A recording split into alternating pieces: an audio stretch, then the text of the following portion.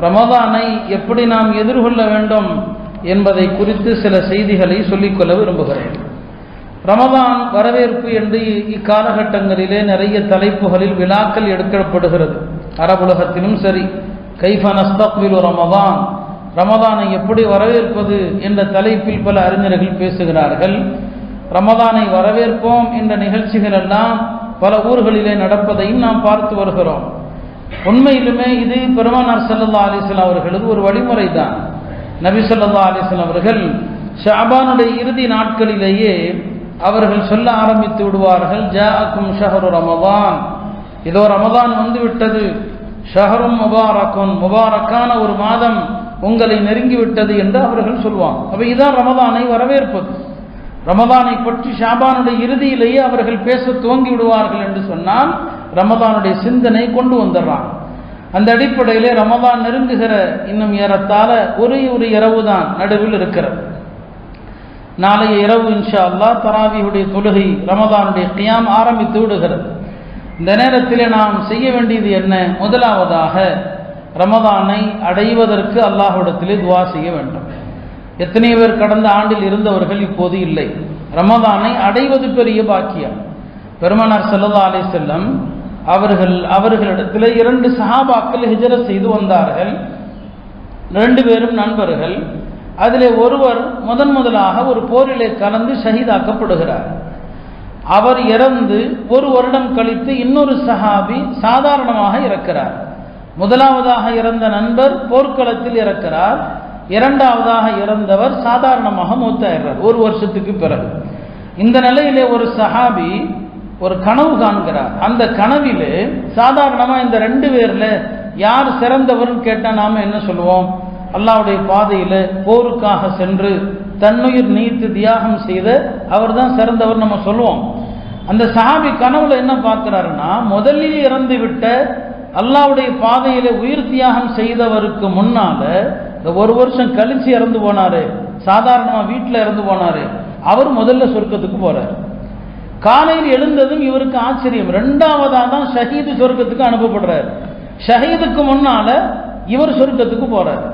இதை பெருமானார் செல்லல்லா அலிஸ்லாம் அவங்கள்ட்ட வந்து அந்த நபித்தோழர் சொன்னபோது பெருமானார் கேட்டாங்க அந்த ஷஹீத் இறந்த பிறகு இவர் எவ்வளோ காலம் உலகத்தில் இருந்தாருன்னு கேட்டாங்க.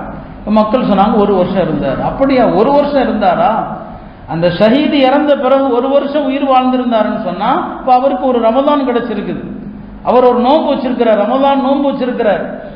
இந்த ரமதானை அவர் பெற்றதனால் இந்த ரமதானுடைய நோன்பானது அவருக்கு முன்னால் இறந்து விட்ட ஷஹீதை விட இவருடைய அந்தஸ்தை உயர்த்தி விட்டதுன்னு சொன்னாங்க.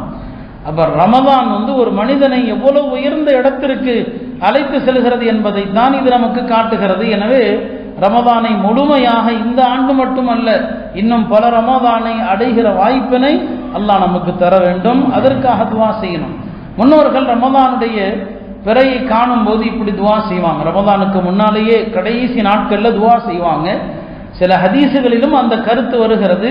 அது ஆறாத்த பலவீனமான ஹதீசுகள் என்று சொல்லுவாங்க. நல்லோர்கள் கேட்டிருக்கிறாங்க. அந்த துவா என்ன? அல்லாஹம்ம சல்லிம் லி ரமதான் ஒ சல்லிம் லனா ரமதான் ஒ தசல்லம் மின்னா இதனுடைய பொருள் என்ன? அல்லாஹம்ம சல்லிம் லி ரமதான். இறைவா ரமதானுக்காக எங்களை ஆரோக்கியமாக ஆக்கிவை. ரமதான் வருகிற போது உடல் ரீதியாக குடும்ப ரீதியாக எந்த வகையிலும் சோதனைகள் வந்துடக்கூடாது. ரமதானுடைய அமல்களை விட்டும் தடுக்கக்கூடிய மருத்துவமனை முசீபத்துகள் வேறு பிரச்சனைகள் வந்து விடக்கூடாது அதனால எங்க உடம்புல எங்களுடைய எல்லா விஷயத்தையும் ரமதானுக்காக சலாமத்தாக ஆக்கு. இது ஒரு வார்த்தை. அடுத்து ஒரு வார்த்தை சொன்னாங்க. ஓ சல்லிம் லனா ரமதான். ரமதான் மாதத்தை எங்களுக்கு சலாமத்தாக ஆக்கு அப்படின்னு துவா செஞ்சாங்க. இந்த துவாவுடைய பொருள் என்ன? கடந்த காலங்கள் எல்லாம் நமக்கு புரியாம இருந்துச்சு. நாம நல்லா இருக்கணும் ரமதான்ல அமல் செய்யணும் இந்த துவாவுக்கு அர்த்தம் தெரியுது. ரமதான் எங்களுக்கு சலாமத்தா இருக்கணும்னா என்ன அர்த்தம்? அது கடந்த லாக்டவுன்ல தான் நம்ம பார்த்தோம். ரமதானை அடைந்தோம். ஆனா ரமதான் நமக்கு சலாமத்தா கிடைக்கல. பள்ளிக்கு வர முடியல.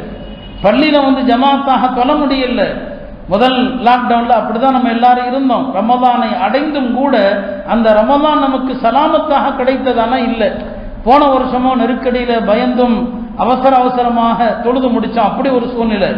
அப்போ இதனுடைய கருத்து என்ன? சல்லிம் லனா ரமதான். ரமதானில் எந்த விதமான நெருக்கடிகளும் இல்லாத ரமதானாக எங்களுக்கு ஆக்குன்னு செஞ்சாங்க.